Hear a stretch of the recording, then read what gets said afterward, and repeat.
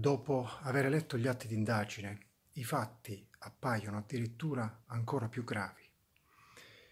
Devo dire che i carabinieri del nucleo operativo di Foggia hanno svolto un ottimo lavoro raccogliendo delle prove schiaccianti a carico di queste cosiddette maestre.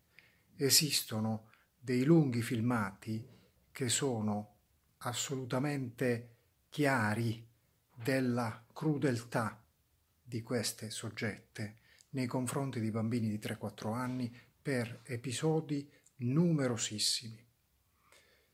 Quel che ancora una volta non mi spiego è come mai, per fatti così gravi, sia stata decisa l'adozione di una misura cautelare lievissima come la sospensione dalla funzione di maestra d'asilo, asilo pubblico, lo sottolineo ancora una volta, la sospensione per una durata di tre mesi per, per l'indagata con la posizione più grave e di un solo mese per le altre. Mi sembra una misura del tutto inadeguata alla gravità dei fatti.